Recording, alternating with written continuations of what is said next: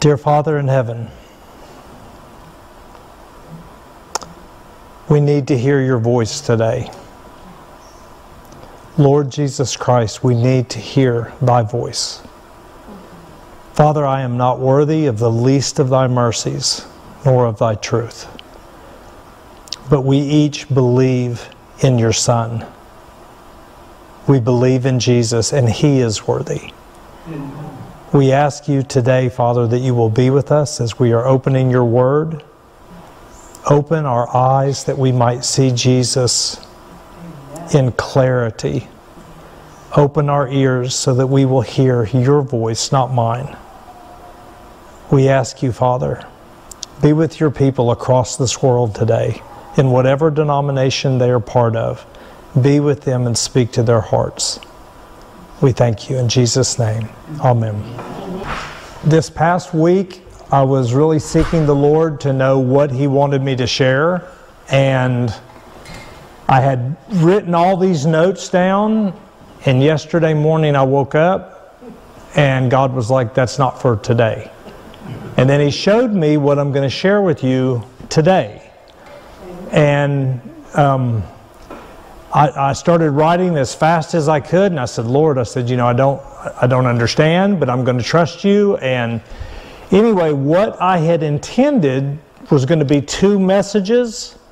Um, I actually, by the time I finished, the first message will take this, this, it'll take the space of both. So the name of the message was called "The Two Faces of Bitterness." You're not going to get the second face today. We're only going to look at the first face. Um, so next time that I'm here, then we'll have to take a look at the second phase. There's a, and don't be disappointed. There, we will get there. And I, I've, I've jotted the notes down, but I kept looking, and the first message kept growing, and I was like, God, I don't know about this second one. I don't know how to open it. I don't know. And the Lord was like, just let go of it, and we'll do that later. He said, right now, there's enough in this first one. So we want to take a look at this today. And I want you to know that I'm sharing with you today from my own life, my own experience. I'm not sharing with you something because I needed something to, to preach about. This is something that I've dealt with and that the enemy still tries to, to bring in and catch us with. But there's so few people that are talking about it within our churches, within any churches. So we, we really want to look at this. Ephesians chapter 4. And if you're able to, look in your own Bible. Um, if you're not able to, it's okay. I'm going to have most of the things up on the screen. But in Ephesians chapter 4, the Lord tells us something. He says, Let all bitterness and wrath and anger and clamor and evil speaking be put away from you with all malice. And be ye kind one to another, tender hearted, forgiving one another, even as God for Christ's sake hath forgiven us. You, me, individually. Now you'll have to help me because I, I know I've heard this verse and I'm trying to, I don't know if I just looked up the original Greek word and that's what I'm remembering, but there was a place I, I remember Paul telling husbands, don't be bitter towards your wives. Yeah. Do y'all remember that? I looked in Ephesians 5, but I didn't see it. I may just be overlooking it. Um, it talks about in Ephesians 5, verse 25, it says, Husbands, love your wives even as Christ also loved the church and gave himself for it. And I, I thought about that. And I was like, do I do that? Do I really love my wife as much as Jesus loved me? I mean, it was Colossians 3:19. Husbands, love your wives and be not bitter against. Colossians 3:19. Okay, so jot that down. I could not find it um, this morning, and, and forgive me. But I mean, I, I looked at that and I was like, God and Jesus loved us when we hated Him. when we were spitting in his face, when we were pulling the hair, the beard out of his face, when, when we were prostitutes and drug addicts and whatever you want to name. He loved us so much, he was willing to die for us when we were in that position. So he tells us to be kind one to another, tender hearted, forgiving one another, even as God, for Christ's sake, hath forgiven you and I. I'm, I'm going to tell you something. I'm going to show some of the skeletons in my closet. Um, it says, Let all bitterness and wrath and evil speaking be put away from you. I had to go to Guyana in April. We, we left the end of May or end of March and we were there till April 9th or 10th. When I was there, uh, there were people that were conservative, present truth, that were on the trip with us, and and I recognized in them something that was also in me. Do you know how many times um, I have been critical about a pastor that I didn't think was doing right?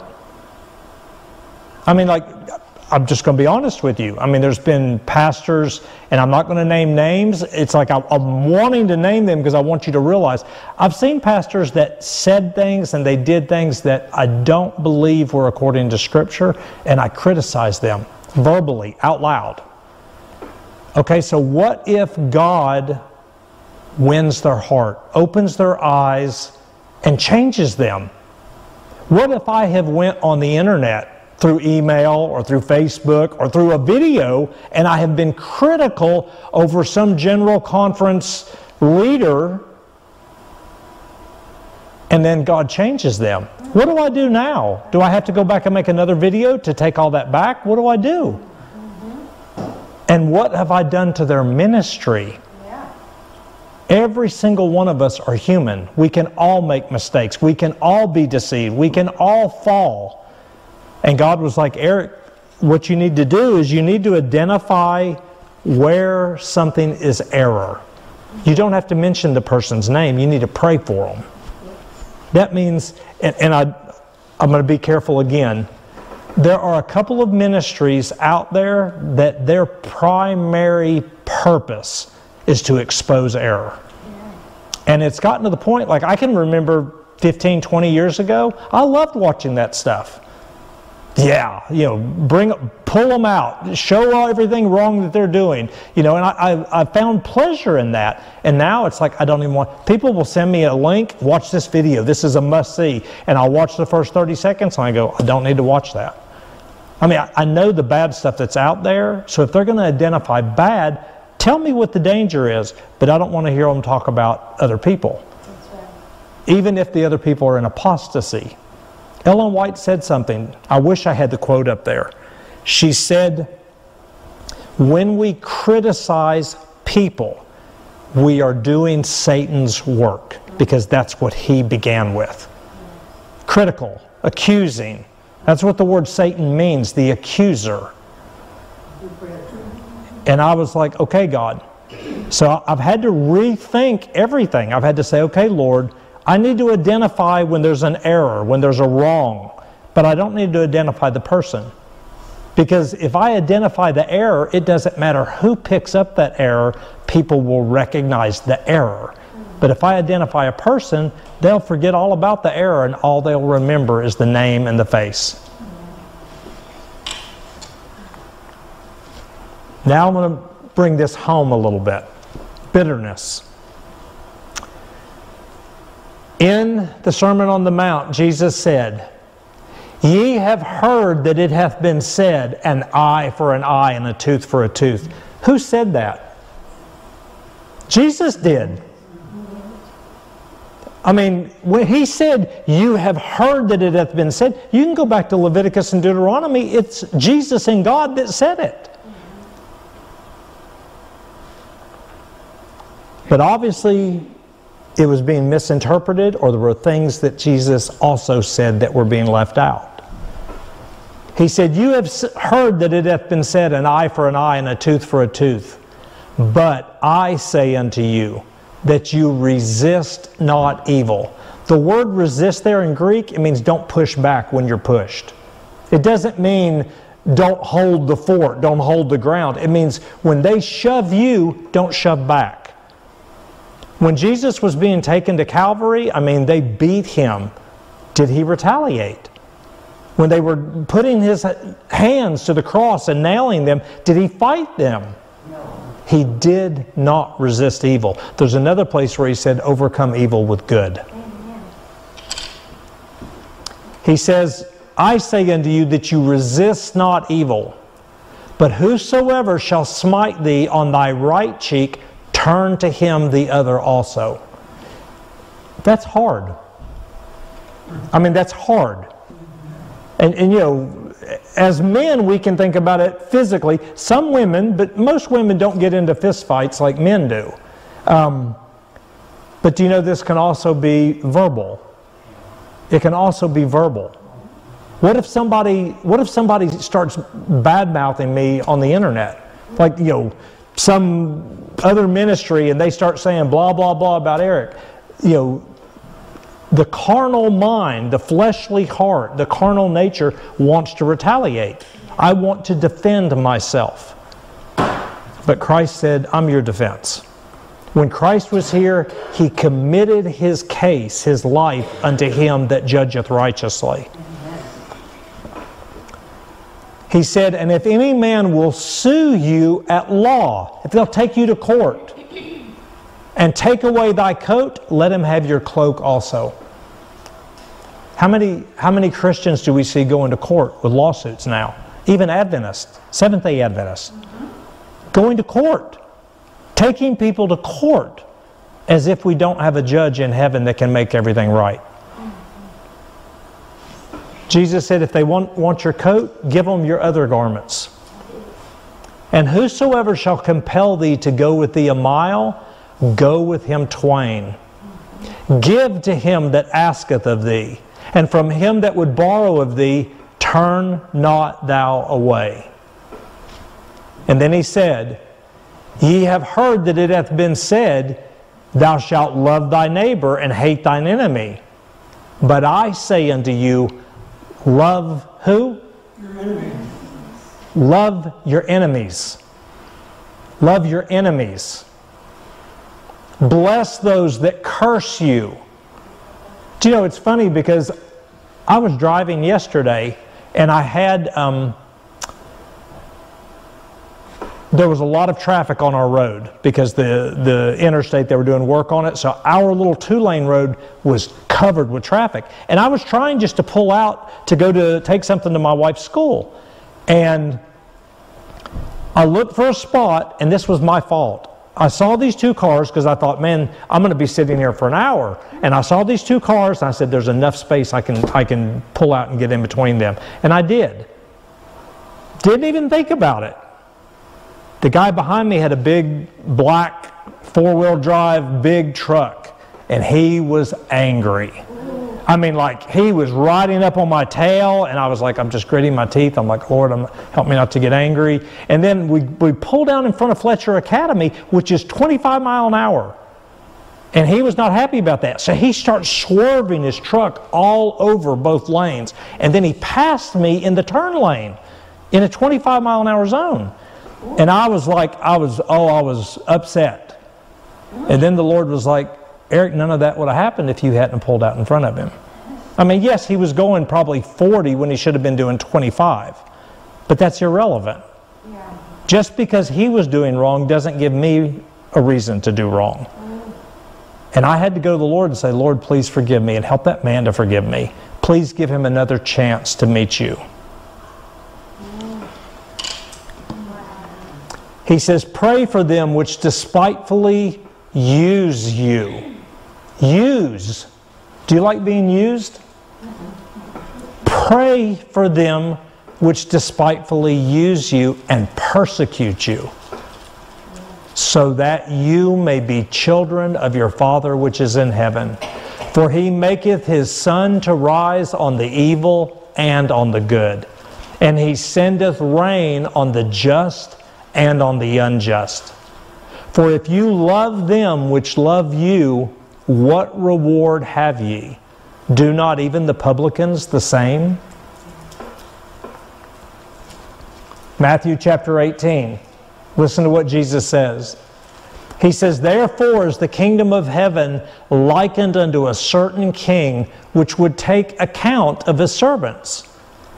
And when he had begun to reckon, to take count, one was brought unto him which owed him 10,000 talents. That's a lot of money. But for as much as he had nothing to pay, his Lord, his master, his king, commanded him to be sold, and his wife, and his children, and all that he had, so that payment might be made. The law says he had the right to do that. Hebrew law, God's law said that. The man, the servant, therefore, fell down and worshiped him. That word worship means bowed, put his face to the floor. He worshiped him, saying, Lord, sovereign king, have patience with me, and I will pay thee all. And then the Lord of that servant was moved with what? And loosed him and forgave him the entire debt. He didn't say, I want you to pay it back. He didn't say, I'm going to give you 20 years. He forgave it. He was moved with compassion and forgave 10,000.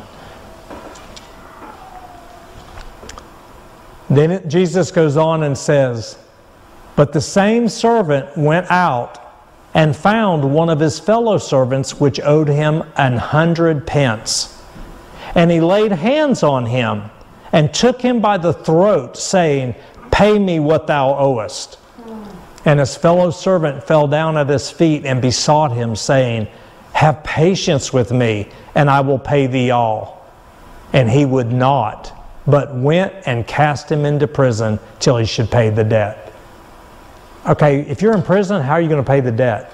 How are you going to earn any money? You're going to be in prison until somebody comes to bail you out.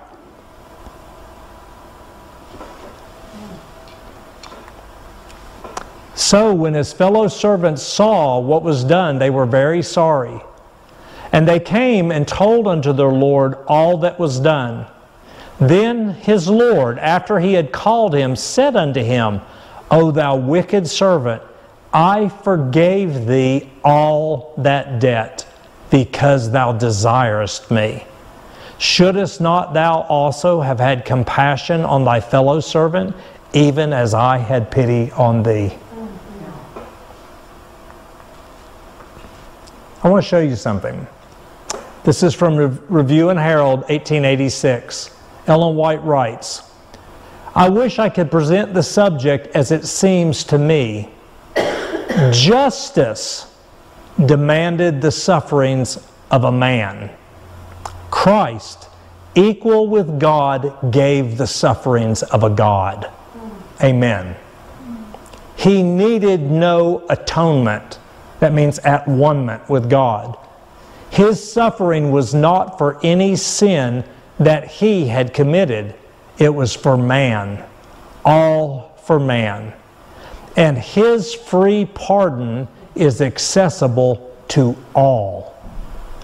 The sufferings of Christ was in correspondence with his spotless purity. His depth of agony was proportionate to the dignity and grandeur of his character. Never can we comprehend the intense anguish of the spotless Lamb of God until we can realize how deep is the pit from which we have also been rescued. How grievous is the sin of which mankind is guilty. If somebody does me wrong and I hold on to resentment toward them, what do I do? On our best day, all of our righteousness is filthy rags. And that means a menstrual cloth. And I don't mean that against women, but I mean that's it's it's filthy rags. Your and my best day is like feces. Not even neat feces. We have nothing that recommends us to God. Nothing. Nothing. And yet I can get on my knees and ask God to forgive me and withhold the same compassion and mercy from someone else. Listen to what happened to Jesus on Calvary. Satan, with his fierce temptations, wrung the heart of Jesus. Have you ever thought about that? I mean, when Christ was on the cross, Satan and probably every evil spirit, every fallen angel that had been kicked out of heaven was there. Satan is a liar and he's an accuser. So, what was Satan doing to Jesus that wrung his heart? The Savior could not see through the portals of the tomb. Hope did not present to him his coming forth from the grave a conqueror, nor tell him of the Father's acceptance of his sacrifice. When, when Jesus was on the cross, he was not simply paying the penalty for our transgression. We, we look at God's law as a, it's a set of rules. God doesn't like pork. He's okay with deer, he's okay with cows, he's okay with chickens, but he doesn't like pigs. He doesn't like salamanders. It's a set of rules. And we present that to people. It's rules. Do it God's way or else. In Romans chapter 8, verse 2 through 4, it says, The law of the Spirit of life in Christ Jesus has made us free from the law of sin and death. The law is not simply rules, it's the code of life. It, God dwells inside of us through His Word. So when He speaks a word to me, and I turn my head and say, I don't believe that was from God. I'm not, I'm not willing to do that. You know, God, God doesn't require that of me. The Sabbath doesn't matter, whatever. Loving my wife as much as myself doesn't matter. Stealing doesn't matter. Oh, it doesn't matter. The government, I can steal, you know, on my taxes because the government doesn't lawfully have those anyway, according to the Constitution. Do you understand? It's not simply a set of rules. Ellen White says God's law is written on every muscle, every nerve, every fiber of our being.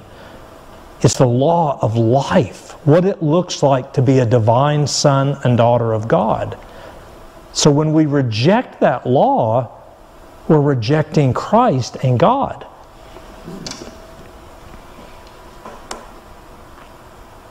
Jesus feared that sin was so offensive to God that their separation was to be eternal. Can you imagine? If, have you ever had one day where you had fallen the night or the day before and you felt guilty? Have you ever felt guilty? Have you ever battled for days to make sure things were right before you, you felt that assurance again that everything was right between you and God? Have you ever went through that? What do you think Jesus felt? He felt the guilt, Ellen White says, of every human being that had ever lived. He felt our guilt of every transgression, of every sin, of every human being that has ever lived. And he felt all of it from Gethsemane to when he closed his eyes on Calvary. He feared that sin was so offensive to God that their separation was to be eternal. And that's what Satan was telling them. Ellen White says that. She says Satan was telling them it's too much. There's no way that God can be just to his law and still raise you from the dead. You're going to be dead. You will never see your Father again.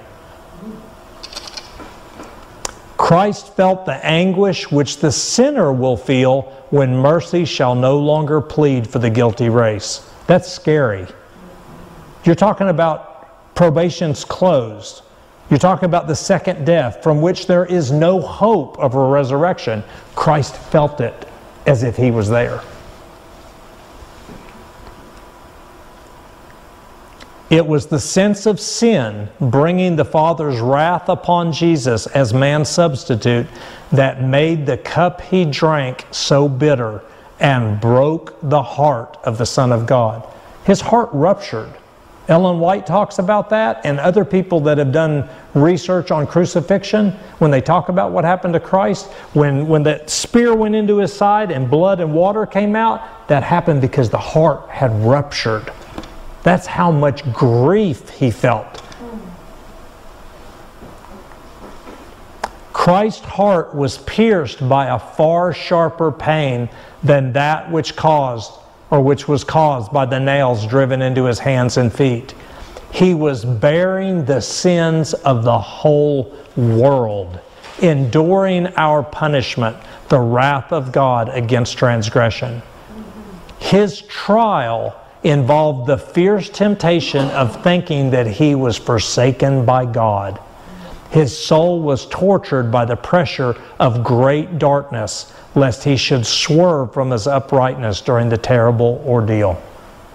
This is what he went through, even for the people that were crucifying him, for the people that ripped his beard out, for the people that were mocking him.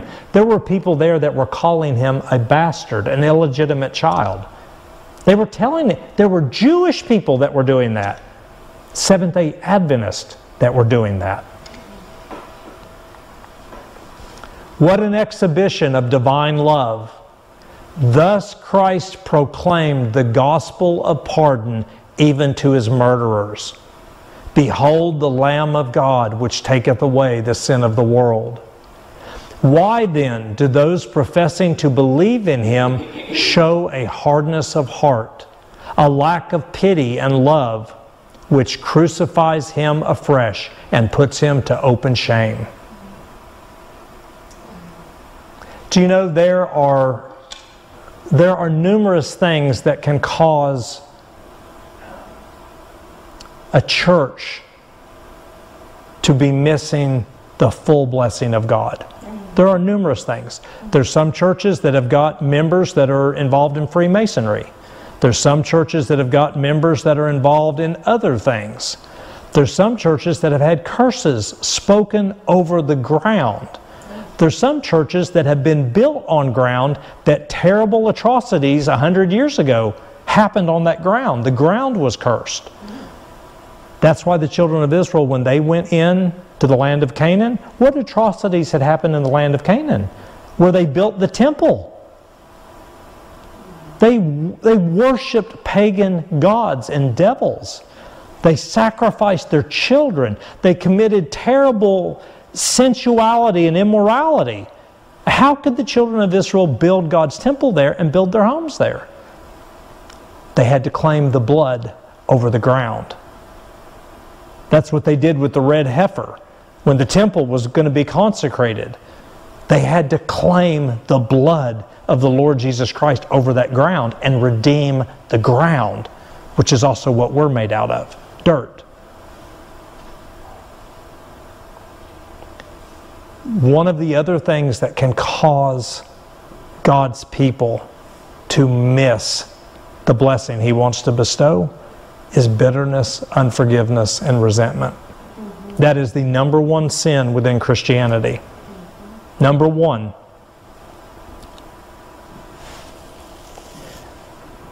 There are people that have been abused when they were children. Physically, maybe beaten.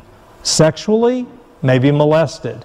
There have been people that have been raped. There have been husbands that have beat their wives physically. There have been husbands that have deserted their wives. There have been wives that have cheated on their husbands. There has been so many terrible things that we have done to one another. But if we are unwilling to forgive, we're the one that's carrying the penalty, not them. Even a Christian will struggle. I have had so many people that have contacted our ministry over, over the last 16, 16 years. And they struggle to get victory over one sin in their life. There'll be one thing that they're battling, and they just can't seem to get victory. And they'll ask, why? What is it that is stopping me from having this victory? Often it's because of unforgiveness. Often. Not always, but often. I'm going to show you why. Mark chapter 11. Jesus said, When you stand praying, forgive. If ye have aught against who? Anyone. Anyone, not just your fellow Christians, anyone. If you have aught against anyone, forgive, so that your Father also, which is in heaven, may forgive you your trespasses. For if ye do not forgive, neither will your Father which is in heaven forgive your trespasses. And you know, when I first read that, I, I was a little bit upset because I thought, God, that's not fair. I mean, that's not fair. Why would you not forgive me just because I'm not willing to forgive somebody else? And the Lord revealed something to me. Jesus lives inside of you and I, right? Okay. Is Jesus willing to forgive the wrong that was done to you? Yes. If it was rape, if it was molestation, if somebody burned your house down, is Jesus willing to forgive them? Jesus would have forgiven Adolf Hitler for killing six million Jews. He would have forgiven Stalin. He would have forgiven Jeffrey Dahmer. He would have forgiven anyone, no matter what their sin, if they would confess and repent and believe on Him. So if Jesus lives inside me and He has already been willing to forgive them, and I say no, I stop the life of Christ from being manifest in my mortal flesh. And what I don't understand is, is my forgiveness for my transgressions comes because Jesus is inside me. So if I stop Jesus from living his life in me, that goes not just outward, but it goes upward as well. It cuts me off. It's a, it's a, a channel, it's like a pipe from God to the world. And I'm just one of the, the links in that pipe. If I close that pipe, it stops it both ways. Not only can, can, can it stop the person that's hurt me from experiencing that God loves them, but it shuts the door so that I can have God's forgiveness.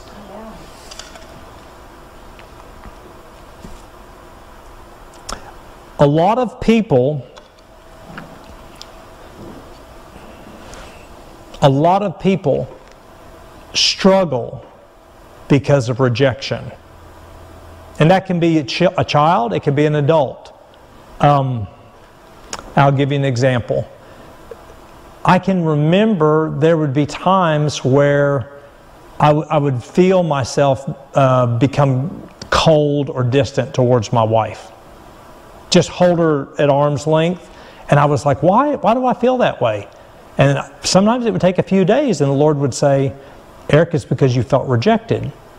You were talking to her and she didn't express interest in what you were saying. Um, you were talking and she was on her phone. You were talking and she just didn't care. And what I would do is I would feel resentment towards that. I would feel rejected. And because of that rejection, I would become upset, angry.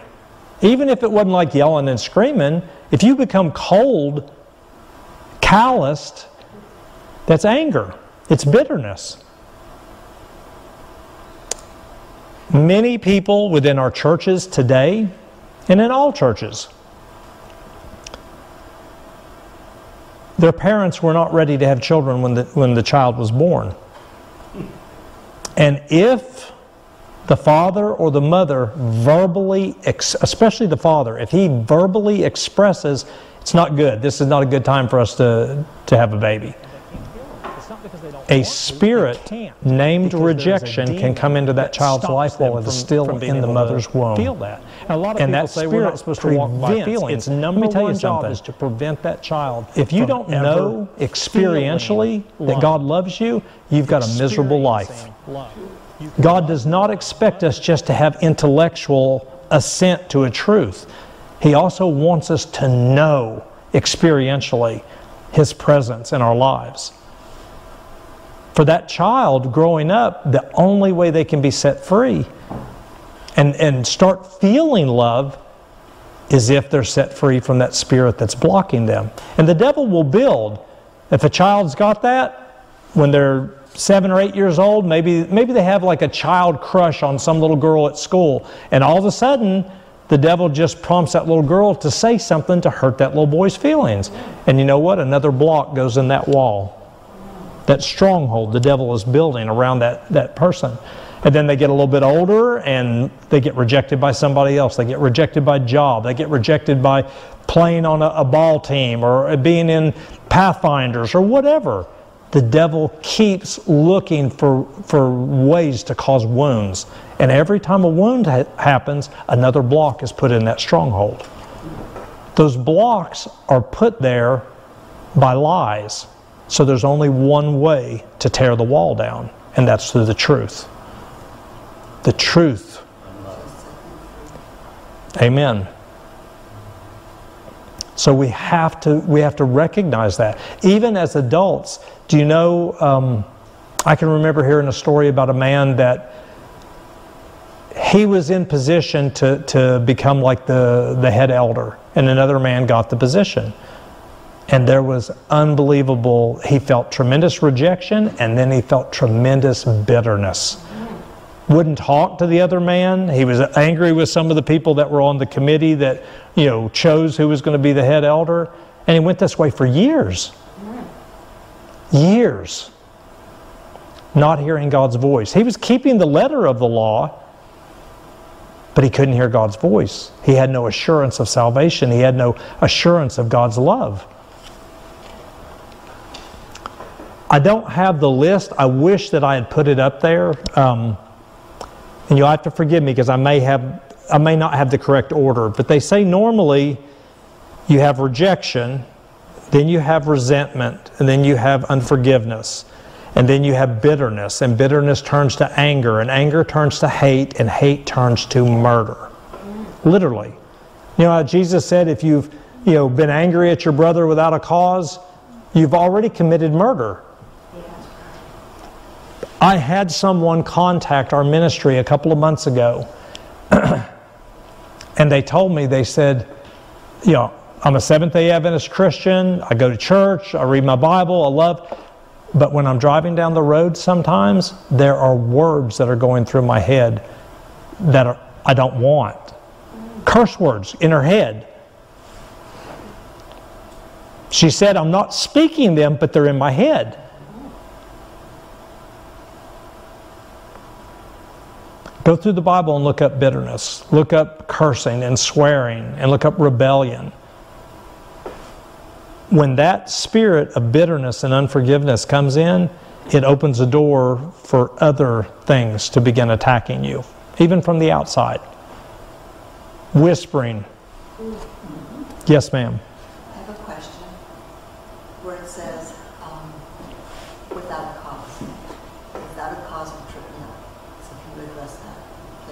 I, will, I will do it in as basic a way as I possibly can.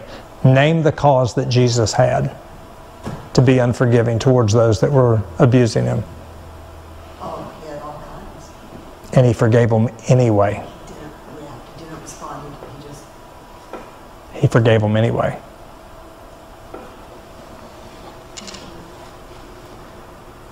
The Bible says in Proverbs 23 7, as a man thinketh in his heart, so is he. Don't misinterpret what I'm saying, even those that are watching on YouTube. Don't misinterpret what I'm saying. But many people suffer from physical disease, especially cancer. That is like a, a common because they've got unforgiveness towards someone. It eats like a cancer, the inside. As a person thinks in their heart, it's manifest in their flesh. Proverbs chapter 4 says the same thing. It says, out of the, out of the heart are the springs of your life. Yes, ma'am. If, if you have bitterness towards someone, but you don't think they realize the bitterness you have or why, do you have an obligation to go to them or do you just deal with it with God? I mean, in your study on the law. From what I have seen, that's between you and the Lord. The bitterness is between you and the Lord. If you have, if you've been ugly to somebody because of the bitterness that you felt, an easy way to fix that is just to ask the Lord to change what's in the heart, and then the outside will change. And we're going to go into that more. Proverbs chapter 4, verse 20 through 23. And this has become one of my favorite verses. He says, My son, and that implies my daughter, attend unto my words. Attend. That means really pay attention to them. Incline thine ear to my sayings. Let them not depart from thine eyes, yea, keep them in the midst of thine heart. For my words are life unto those that find them, and health to all their flesh.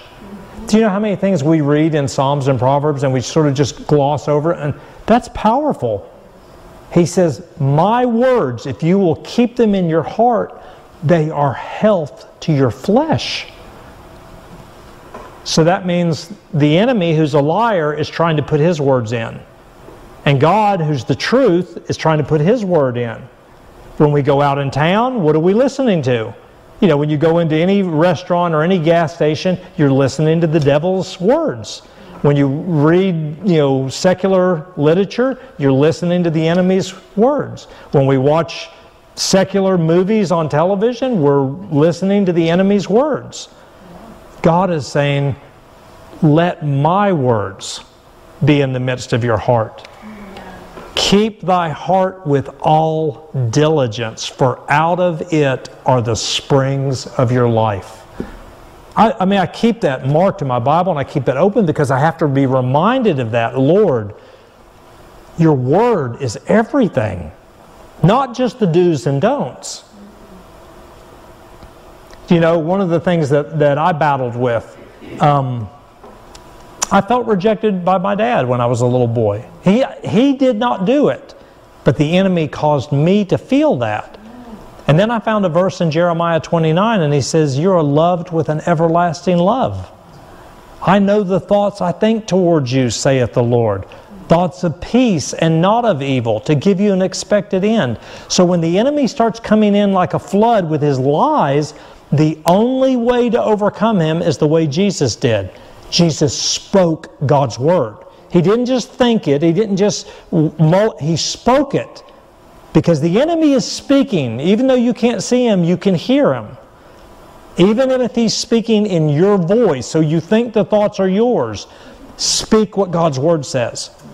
When the enemy tells me, Eric, you'll never get this message ready. This is impossible. Why did God make you wait until, why did He change everything on you on Friday morning? And then I was like, I'm not going to get this done. And then this morning I woke up at 3:30 and I was like I couldn't sleep because I was worried about having everything ready. And I was like, God, what do I do? And God said, "Speak my word." I went to Isaiah chapter 41. Fear not, I am with you. Be not dismayed, I am thy God. I will strengthen thee, I will help thee, I will uphold thee with the right hand of my righteousness. But I had to speak it. When Jesus was tempted and the devil said, If thou be the Son of God, command these stones be made bread, Jesus spoke out loud, Man shall not, I shall not live by bread alone, but by every word that proceeds out of the mouth of God. One thing I want to interject. Just because you make the decision and you choose to forgive somebody does not mean that you are saying what they did is okay. It, it's not it's not saying what they did is okay. It's not saying that God thinks it's okay. I know that what we're looking at today can be difficult. Um, when, when God set me free 17 years ago, and when He reunited my wife and I, our marriage, and um, He did all those miracles, I remember the people that had helped me to get free probably the most, they had given us three booklets, and they were small. They could literally, each one of them could be read in a weekend. I'd read two of them. The one was on spiritual warfare, on, on how Christ came to set the captives free. The other one was on um, the marriage covenant and soul ties. And I'd read those multiple times. And the third book was still sitting on my shelf. I'd never opened it. And, uh, and just to give you a story to sort of help you understand why I'm sharing this. When I was a little boy, probably eight or nine years old, um, my grandmother's brother, my great uncle, all the children in our family loved him. They loved him because he, he bought them all the candy, he bought them toys. He did everything for the children that the parents wouldn't do for them. And, um, you know, if we went up to his house to spend the day, he'd let us watch stuff on TV that our parents wouldn't let us watch. And, um, yeah, my mom and dad should have never allowed me to be around the man because he wasn't a Christian. But at eight or nine years old, he introduced me to things that no man should be introduced to, even as an adult. Um, a magazine that I found in his uh, in his dresser, and he was like, "You want me to go buy one? Let's go to the store." And he went and bought one for me. At nine years old, eight, eight or nine years old. Um,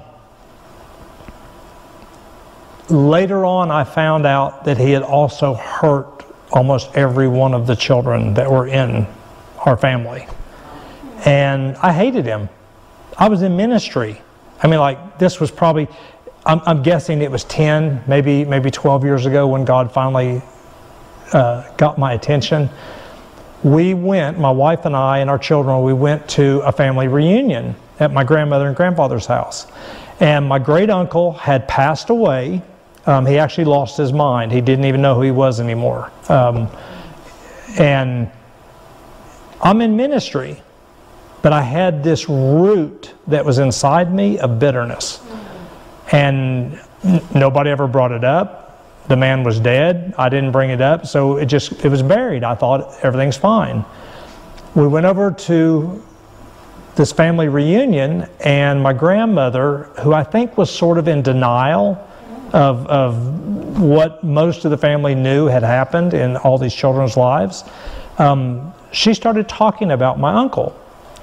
And I just, I looked at her and we were there in a big group of people and I just looked at my grandmother and I said, Grandma, I said, I would just as soon spit as mention his name. And it's like it got dead silent. Everybody just got quiet.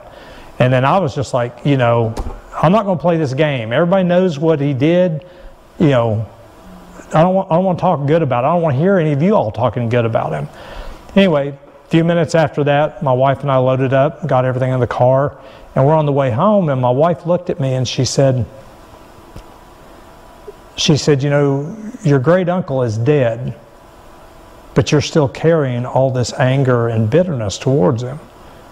And when she said that, it all came out of me. I mean, I, I, looked at her, I said, I've got every right to be angry at that man. I've got every right to be bitter. Look at what he did to all these different, you know, children and the family. And anyway, my wife just, she was wise and she just left it alone and started praying for me. Well, that was Sunday. Monday morning, I woke up and I went out to our ministry office where I usually would have worship. And when I went out there, um, it was one of those times where it's like I'd finished studying whatever I was studying previously, and so I was going to start on something new, and I could not, nothing was coming to my mind of what I needed to study. And I was like, God, so I started, you know, flipping through, just hoping the Lord's going to show me this is where I want you to start reading. Couldn't find anything. Looked, looked, looked. After about 35 minutes, I was just like, you know, I don't know what's wrong. I got up, went to work. Next day, I went out there to have worship. Same thing happened again. I'm reading, I'm like, I'll go to Psalms. I'm reading, and, and it's just words. It was like reading newspaper print. It was just words on a page. It was meaningless. And I was like, God, what is wrong? I mean, I'm thinking in my mind, what have I done? You know, I can't think of any sin that I've committed. What have I done? And I finally, I cried out to him. I said, Lord, I said, what do you want me to read today? And I looked up, and right there on my bookshelf in front of me was those three books that those people had given to me. And the one on top or on the bottom, I'm sorry, it was on the bottom, that I had not read, and it was on freedom from bitterness, resentment, and unforgiveness. And I looked at that book and I was like, and I got angry. And I told God, I said, I'm not reading it. Shut my Bible, went to work. I mean, like, I can look at it from an outsider and say, How could you get angry at God? That was the spirit of bitterness that was inside of me that was causing the anger towards God. Because bitterness does not have to be towards one person. If there is a root of bitterness in someone's life, it will affect every single relationship that you have with every person in this life. So that was second day. Third day I woke up. I went back out there. It's like, you know, the devil sort of like, you know, time will wash things away. It'll be fine. I got up to have worship, opened my Bible up. It's just words on a page. And I said, Lord, I said, please, I need to hear your voice. This is the third day. And I looked up and there was that book. And I said, I'm not reading it. I shut my Bible and I went to work. It's four days. And finally, by the fifth day, I was, I was overwhelmed. I was like, God, I can't live. I mean, I'm living on like what, what the word that I'd eaten a week ago. You've got to have daily manna. I hadn't had any manna for five days. This was the fifth day. And I was like, God, I need help. And the Lord, I mean, as clear as day, it's like my eyes. He turned my eyes and there was that book. And I said, I said, okay, I'll read it. So I started reading. I think it took two days, maybe three, to get through it. Um, and God set me free. And I'm, I'm going to tell you how, but I've got to get through some of the other things here. But I want you to know I know what this is like. I know my wife. She, she knows what this is like because of what she went through when, you know, I cheated on her and divorced her and abandoned her and my children. She went through this. And God set her completely free. And she told me afterwards, she said, Eric, she said, I can remember for the first year, maybe two years after the Lord had brought us back together, I was still apologizing to her. I mean, I would go to her and say, Sarah, I'm so sorry, because it would hit me what I had done. And I would say, I'm so sorry for And she looked at me, she said, Eric, stop talking about it. She said, I forgave you before you ever came home. It's gone. You know what? That's what God's saying to us. It's funny because Ellen White says that the Jewish mind, they believed there had to be repentance before God would, would accept you. And she said, You can't even generate repentance except Christ gives it to you. Yeah. So he's, he's the one searching for us.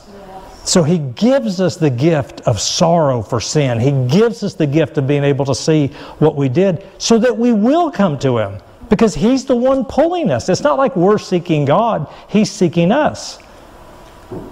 And God was revealing to me, He was like, Eric, this, this root has been there for all these years, and I need to set you free from it because otherwise it's going to it's going to mess up your entire life and mess up your ministry and everything.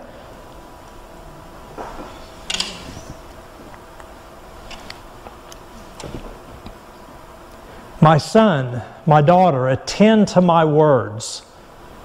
Incline thine ear to my sayings. Let them not depart from thine eyes. Yea, keep them in the midst of thine heart. For they are life unto those that find them, and health to all their flesh. Keep thy heart with all diligence, for out of it are the springs of your life. And the word springs there is what the original is in Hebrew. And I've got a typo, forgive me, it should be then. Then came Peter to Jesus and said, Lord, how often shall my brother sin against me and I forgive him? Till seven times? The Jewish mind said three times. Three strikes and you're out. Ellen White even talks about that. Three times, you're out. And Peter was like, okay, we're going to go to seven because seven's the number of perfection. Jesus said unto Peter and unto you and I, I say not unto thee until seven times, but rather until seventy times seven. 490 times. And then you know what people do? They say 481, 482, 483, and they get down to 490 and they go, You're out. I've done my part now. That's legalism. And I'm going to show you why. He said, For so likewise shall my heavenly Father do also unto you, if ye from your hearts forgive not every one his brother. And the apostles said unto the Lord, Increase our faith. How in the world can I do this? I mean, seven times was huge. How can I do this 490 times? I'm going to go back a little bit. There's a I don't know if I had this verse up there. I thought I had it next, but I'm going to just tell you. Jesus in another one of the places in the gospels where he was talking about this, he actually said if your brother sins against you 7 times in a same day, forgive him.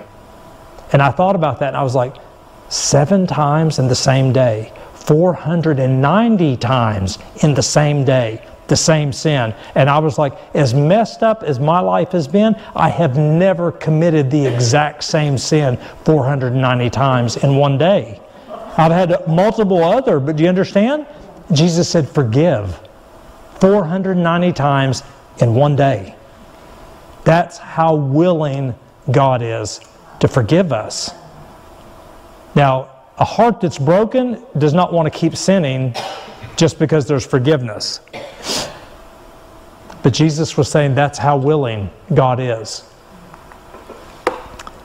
And then Jesus said, But go ye and learn what this meaneth. I desired mercy and not sacrifice. And I desired the knowing of God more than burnt offerings. For he or she shall have judgment or justice without mercy that hath showed no mercy. For mercy rejoiceth against justice. So God says if you are unwilling to forgive, that's how God is going to treat you. And it's not just out of like vindictiveness or anger. It's literally because you have said, I don't want Christ to live in me. Yeah, I want Jesus on Sabbath. I want Jesus on Sunday or on Wednesday night Bible study, but I don't want him right now when this situation comes up. Jesus is all or nothing. In his patience and his mercy, he's allowing us to learn that. But you can't take Jesus like a buffet and take parts of him and not the other parts. In Luke, Jesus said, Be ye therefore Therefore, full of mercy as your Father in heaven also is merciful. Judge not, and ye shall not be judged. The word judge there means condemn, it means to, to call, uh, to make a determination over someone's character. Condemn not, and ye shall not be condemned. Forgive, and ye shall be forgiven.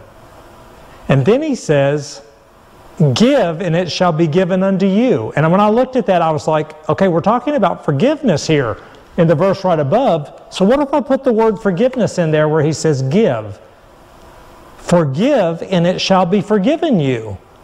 Good measure, pressed down and shaken together and running over. For with the same measure you measure to others, so shall it be measured to you again. So the way you know, we talk about this in churches. There's people in churches that are angry and bitter towards other people in their same congregation. In a small congregation like this, it's harder. In a bigger church, it's easy. You just go sit on the other side of the sanctuary. You don't talk to them, you, you avoid them, whatever. But we do that with our families, we do that with church members, we do that with all kinds of people, bosses, people we work with. We do that with other ministries.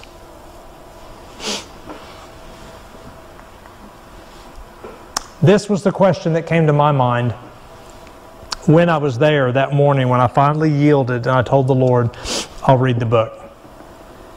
I was like, how? I'm reading the book and I'm like, how do I do that? Because I can get on my knees and say, Dear God, I forgive what happened to me and to all the other family members.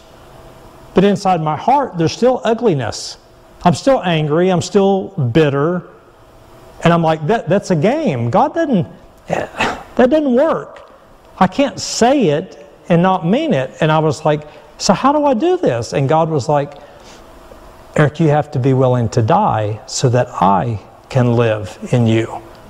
Because I give you my mind, my thoughts, my spirit. The Bible says, Let this mind be in us, which was and Christ Jesus forgave everyone the wrong that they did to him. Even as a little boy, Ellen White talks about the fact that he was picked on quite a bit by the other Jewish boys. He was straight laced. He was always quoting Scripture, and they didn't like it because they wanted to do something that was against Scripture. So I, I realized the Lord had to show something to me, and He told me, He said, Eric, He said, uh, let me, I'm going to go forward a little bit. There's a place I want to bring that in. Well, maybe, maybe not. Um, The word forgive means to give in exchange for. E.J. Waggoner talked about that in one of his, his books. Forgive means to give in exchange for. So when I go to God and I say, Dear God, please forgive me for this sin, God says, What do you want me to give you in exchange for your sin? I only have one thing I can give you, and that's Jesus. He that hath the Son hath life. He that hath not the Son hath not life, but the wrath of God abideth on him. So the Lord told me, said, Eric, in order for you to do this, you have to do what Jesus did.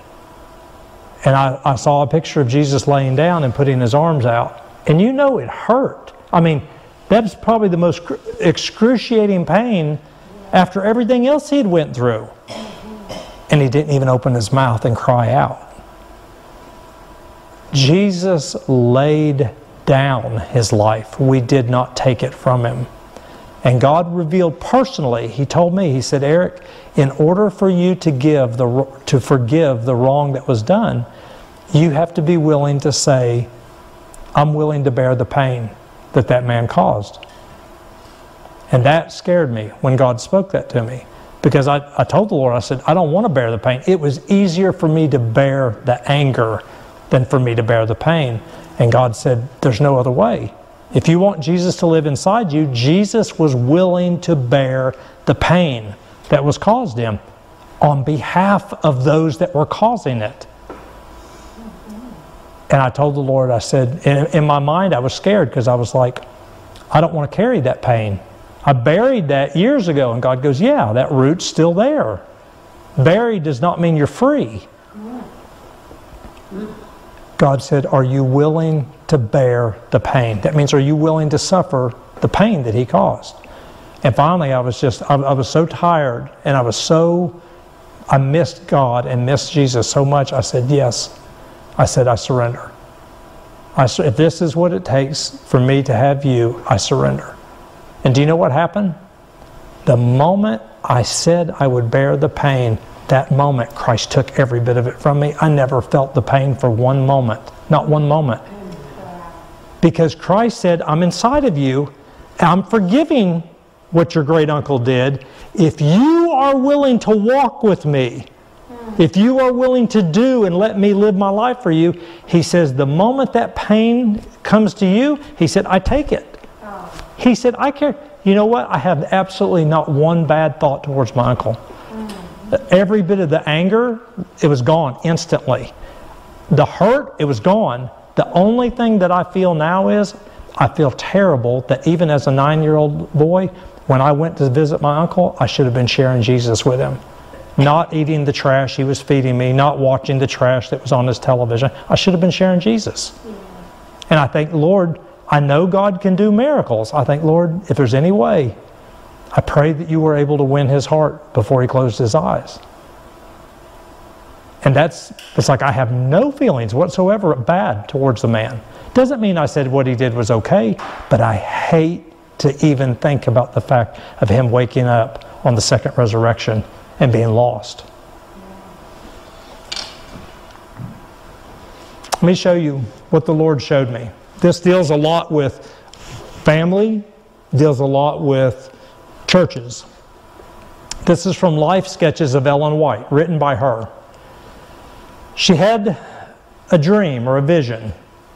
And she said, In this vision, another book was opened wherein were recorded the sins of those who profess the truth. These are Christians.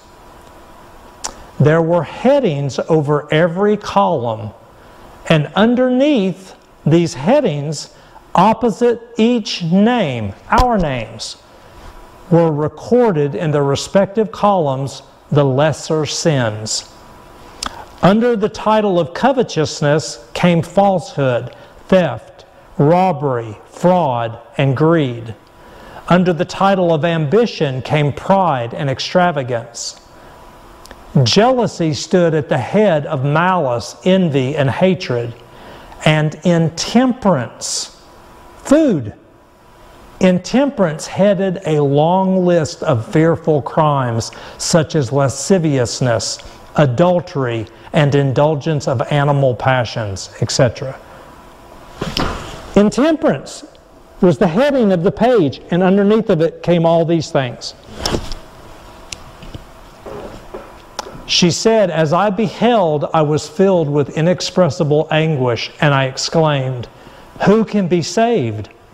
Who will stand justified before God? Whose robes are spotless? Who are faultless in the sight of a pure and holy God?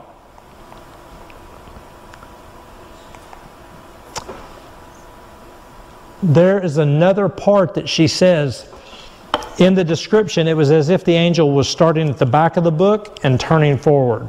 So the angel would turn a page and there was lasciviousness and all the sins under it. He would turn another page and there was covetousness and there's all the sins. And she said he got back to the front page and you know what was on the front page? Every other sin in the book fell under one sin Selfishness. selfishness. Every other sin fell under selfishness. So when I say I'm not willing to bear that pain, that's selfishness.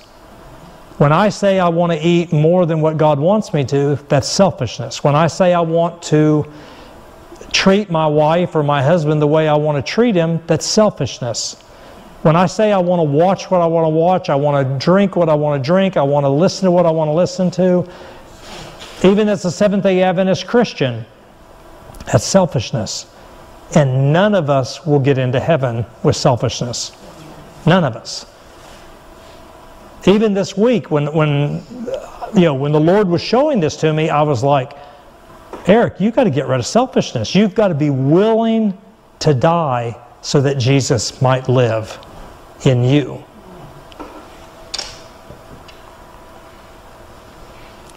Let me show you this. This is a, a, a, portrayal of Jesus with the man that had leprosy, I think probably in Luke chapter 5. In Desire of Ages, Ellen White says, Jesus imparted his life to the sick, the afflicted, and those possessed of demons. So when Jesus wanted to set a, a person free, or maybe let's, let's take the disciples. The disciples are there trying to cast a demon out and the demon won't go, like with the man at the, at the foot of the mountain of transfiguration. A lot of times the demon will say, I don't have to leave because they did this, this, and this, or because they have this sin still in their life. I don't have to leave. Your law, God says, whoever they yield themselves as servants to obey, that's whose servants they are. And the devil will go back and he can point to the day and the hour and the very minute that you yielded. He'll say, I have every right to be here. I'm not going anywhere. You know what Jesus said? You're gone. I take their sins. What right do you have now? He imparted His life to the sick, to the afflicted, and to those possessed of demons. He had to impart His life or else the sickness, the disease, the demons had every right to stay. He turned away none who came to receive his healing power. He knew that those who petitioned him for help had brought disease upon themselves, yet he did not refuse to heal them. This is forgiveness. This is forgiveness. That person says, I got every right to be angry. Look what they did to me. Jesus says, Look what they did to me. Yet he did not refuse to heal them. In all this conflict with the powers of evil, there was ever before Christ the darkened shadow into which he himself must enter. Ever before Jesus was the price which he must pay for the ransom of these souls. It wasn't just dying. Remember what we read earlier. He thought he was not going to see his father's face again. That was the temptation that Satan was wringing his heart with. As he witnessed the sufferings of the human race, he knew that he must bear a greater pain mingled with mockery, that he must suffer the greatest humiliation. When he raised Lazarus from the dead, he knew that for that life he must pay the ransom on the cross of Calvary. Every rescue that you and I Every rescue made was to cause Jesus the deepest humiliation. He was to taste death for every man. That's why Ellen White says every single soul in the world belongs to Christ, whether they know it or not. She says they are His by creation and they are His by redemption. The only difference between them and you and I is we believe in Jesus. And the reason they don't believe is because the devil, the God of this world, has blinded their minds. So when we see someone that we think is unforgivable, we've got to remember they're a child of God. They just don't know it. They've already been paid for. And we need to pray. We need to love them, like George said. We need to show compassion and mercy so that they can see Jesus.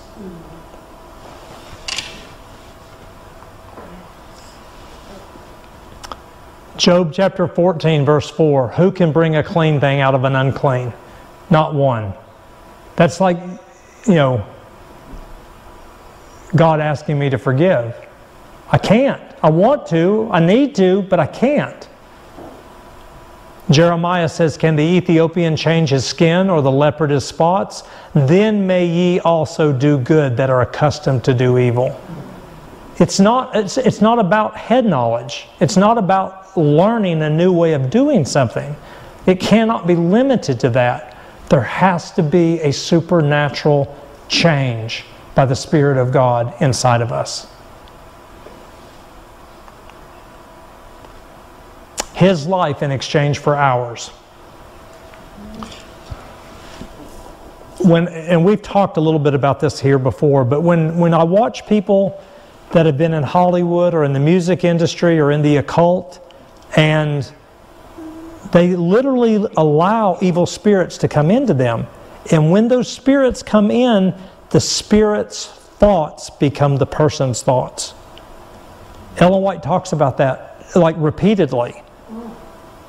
There was one man that was struggling. He, he was in ministry and he was in a tent at a camp meeting next to the tent she was in. And she said, she wrote to him and she said, I saw you when you were sitting in the tent.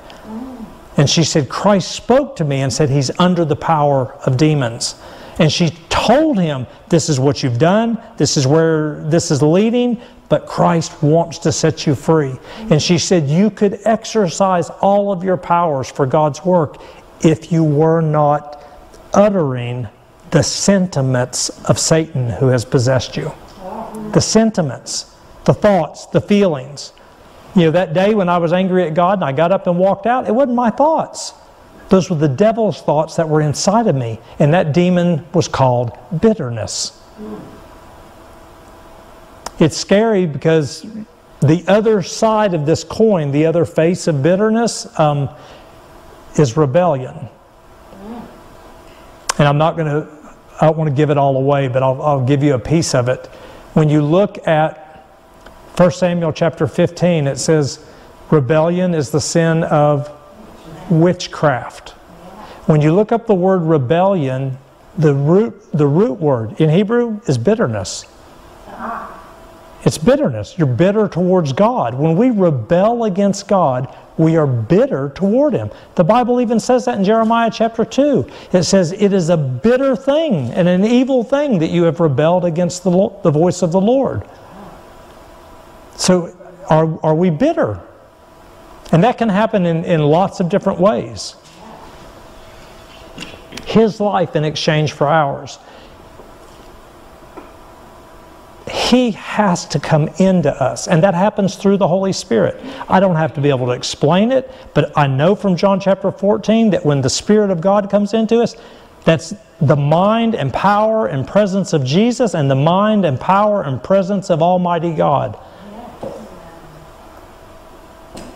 They have to come into us. And when they come in, their thoughts become our thoughts. Their feelings become our feelings. Their emotions become our emotions. But God does that only as we yield, only as we surrender, and as we believe. We have to believe that He will do what He said He will do. None but God can subdue the pride of man's heart. Do you know what pride is? I'm going to tell you from my own experience. Pride is not simply arrogance.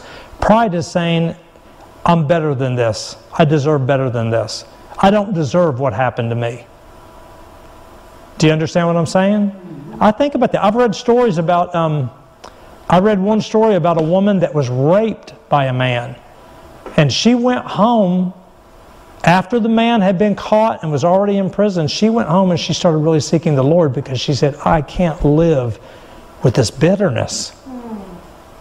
You know what, you know what the Lord did when He set her free? she went and started giving Bible studies and taking food to that man that had raped her in prison, and she won him to Christ. I mean, like he was a totally converted man, broken and un. And you're thinking, how could she do that? It's only by the grace and power of God. Pride is saying, I deserve better than this. Jesus, Jesus deserved better than that, didn't he? So who do I think that I'm better than Jesus? I didn't deserve that. Well, neither did Jesus. There's nothing that we have experienced that he has not experienced worse. None but God can subdue the pride of man's heart. We cannot save ourselves. And remember, the word saved or salvation means freedom, deliverance, healing, rescue, restoration. You can't heal yourself. You can't set yourself free. We cannot regenerate ourselves. In the heavenly courts, there will be no song sung to me that loved myself and washed myself, redeemed myself. Unto me be glory and honor, blessing and praise. But this is the keynote of the song that is sung by many here in this world. They do not know what it means to be meek and lowly in heart. And they do not mean to know this if they can avoid it. The whole gospel is comprised in learning of Christ, mm-hmm. His meekness and lowliness. I didn't understand that. I mean, you know, obviously I know Jesus was humble, but that's as far as it went. Let me show you what the Lord showed me. Matthew 11, 28. Jesus said, Come unto me, all you that labor and are heavy laden. That burden of bitterness or resentment or rebellion or sin, it's like a 500 pound backpack. It wears us out. Wow. He says, Come unto me, and I will give you rest. Take my yoke upon you, and what's that phrase? Learn of me. Most Christians read that and they say, He's going to teach us doctrine. This is what we're supposed to learn. I'm, I'm learning doctrine. He says, Learn of me, for I am meek and lowly in heart. My yoke is easy and my burden is light. Who was Christ yoked to? His Father. He said, I and my Father are one. What he wants us to learn of him is how to be meek and dependent instead of arrogant and full of pride, and I can do it myself. Then said Jesus unto them, When ye have lifted up the Son of Man, then shall ye know that I am. In the King James, it says, I am He, but the word He is supplied. It's not there in the Greek, it's in italics. He says, Then you'll know that I am. That's the name of Almighty God. What does it say about God's people in the very last days? They will have their Father's name written in their foreheads. Your conscience. I am because He is. The Bible says, as He is, so are we in this present world. He says, when you've lifted me up, then you shall know that I am, and that I do nothing of myself. That's literal. He said, Believest thou not that I am in the Father, and the Father in me? The words that I speak unto you, I speak not of myself, but the Father that dwelleth in me, He's doing the works. Amen. Every person that Jesus healed, every person that He set free from demons, it was the Father in Christ reconciling the world unto Himself. And that's what Jesus wants us to know. Ellen White says that. She says, when you become one with Christ, you become one with the Father, one with God, because that's what He did on Calvary atonement, at one with God. Then He said, Believe me that I am in the Father and the Father in me, or else believe me for the very work's sake. Nicodemus knew this. He told him in John chapter 3 No man can do the things that we see you do, except the Father be with him. And the word with in the Greek can be in. Colossians 1, it says, In you that were sometime alienated and enemies in your mind by wicked works, yet now hath he reconciled. Is that past tense or future tense? The whole New Testament says we've been reconciled. The whole New Testament says we have been justified. God is telling us, believe me and walk like it.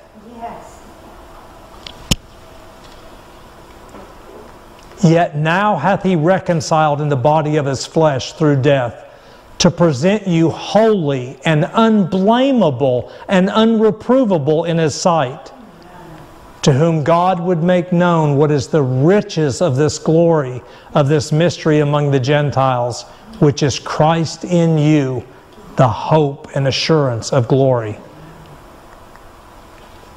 For God, who commanded the light to shine out of darkness, hath shined in our hearts to give the revealing of the knowledge of the glory of God in the face of Jesus Christ. Remember what John 17, 3 says? This is life eternal that they might know thee. Adam knew his wife Eve, and they twain became one flesh.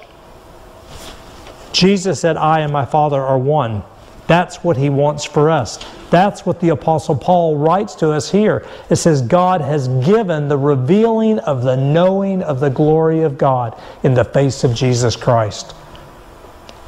But we have this treasure in earthen vessels so that the excellency of the power may be of God and not of us.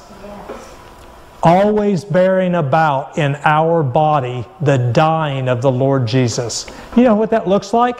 The Bible says, In that he died, Jesus died unto sin once. Romans 6, verse 10 and 11 always bearing about in our body the dying of the Lord Jesus Christ. That means when the sin of unforgiveness or resentment or bitterness or rebellion, whatever that sin is, when it comes to you, you speak out loud, I am dead and my life is hid with Christ in thee. I am crucified with Christ, nevertheless I live. Yet not I, but Christ liveth in me. And the life which I now live in this flesh, I live by the faith of the Son of God, the faith of Jesus. Here are they that keep the commandments of God and they have the faith of Jesus because Jesus is in them. Let me ask you a question. Where's your brain? What part of the body is the brain in? In your head. Okay, the Bible says Christ is the head and we are the body. Let this mind be in you which was in Christ Jesus. When I withhold forgiveness, I put my hand up to Christ. I say, I'm not, I'm not going to let you in this part of my life. But I still want you, but just not this part. For we which live are always delivered unto death for Jesus' sake, so that the life also of Jesus might be made manifest in your mortal flesh. That's not just here, you know, at the second coming. It means now.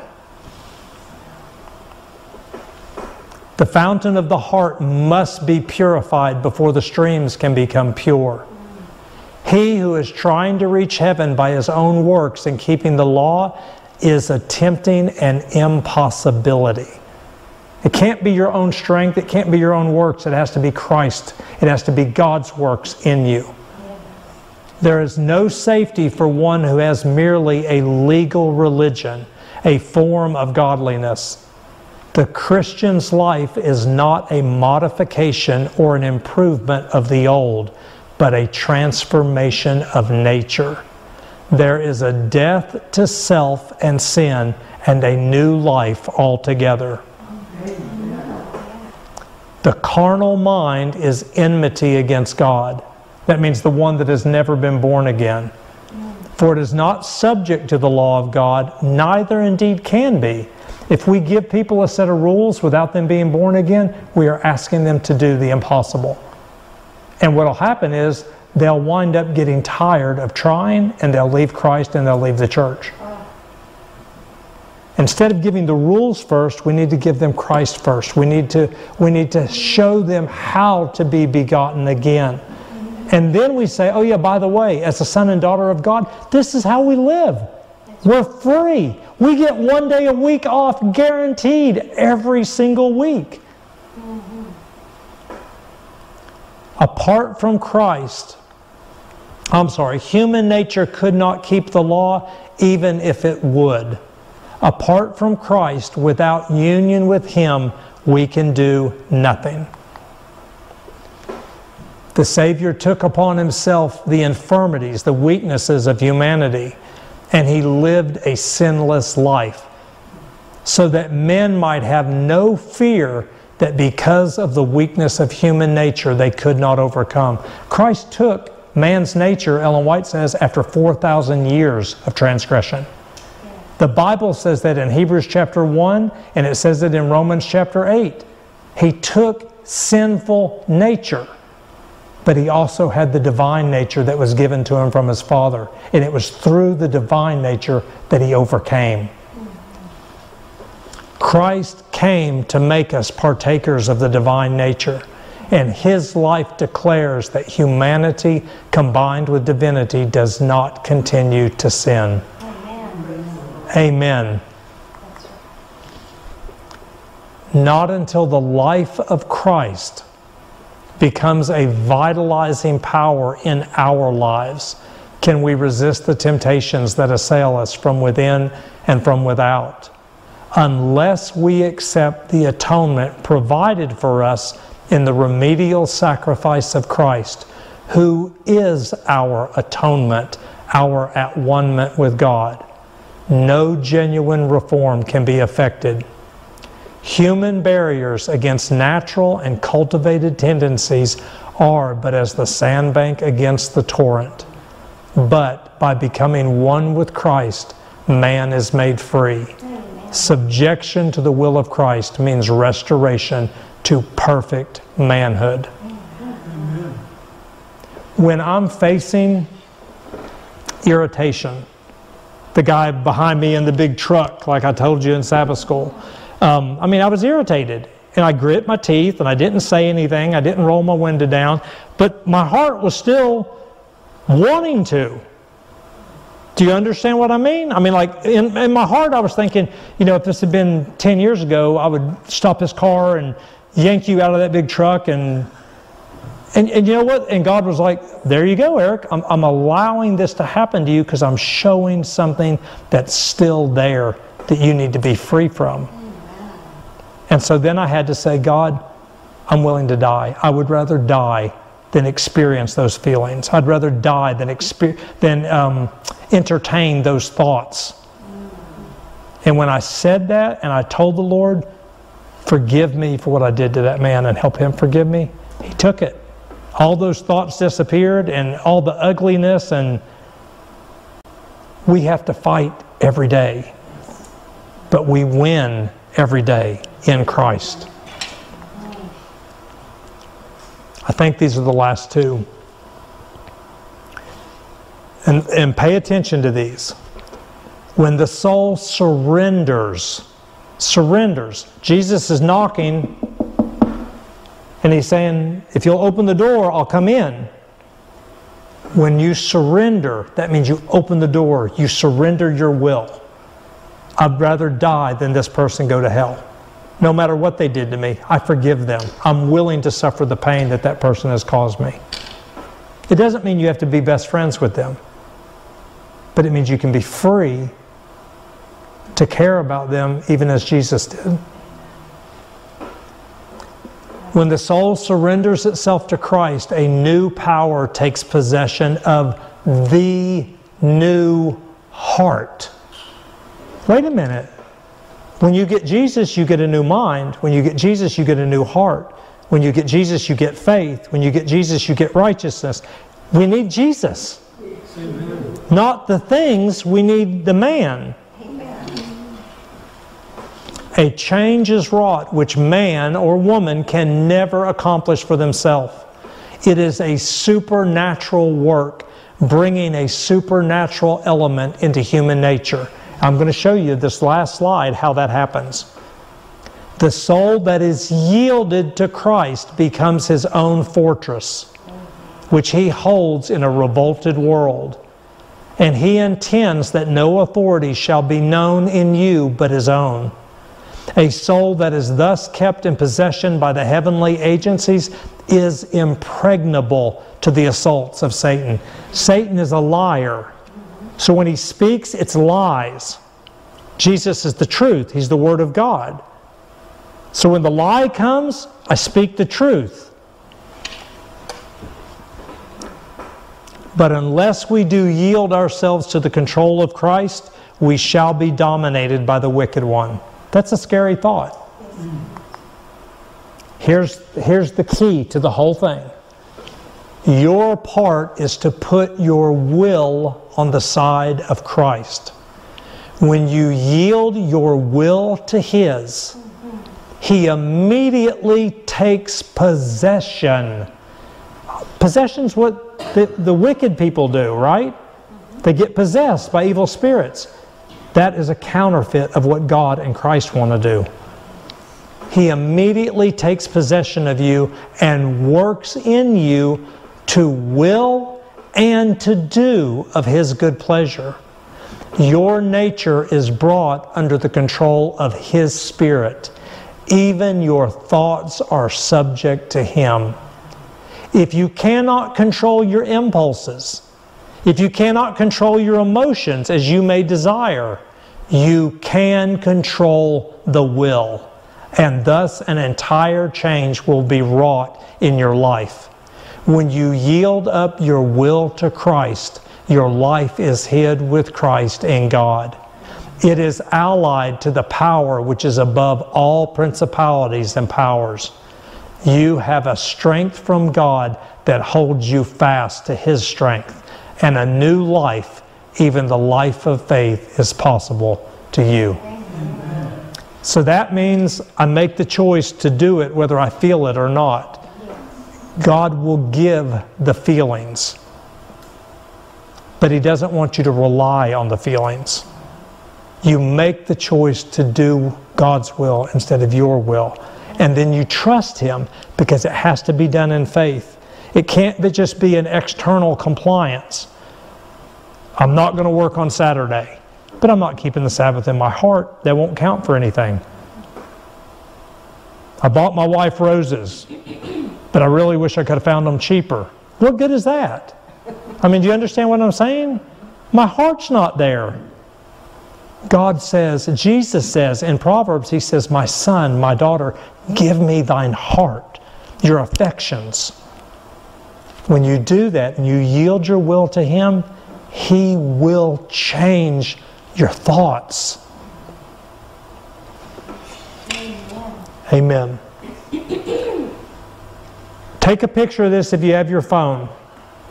Um, back a, a number of years ago, my wife and I ordered, this was that book that I've battled with God about reading. Um, we ordered a hundred of them. I think, and this was back years ago, I think they charged us like $2 or $3 a booklet. Um, it- it's a large booklet, easy to read. Um, the website there is ccmbooks.org, bookstore. They also have it available for free on the internet. So you can go right to their website, you can download it as a PDF, put it on your computer, or you can call that number, which is 1 208 883 0997. Just call them and tell them that you want the large, and tell them the picture on the front of the book.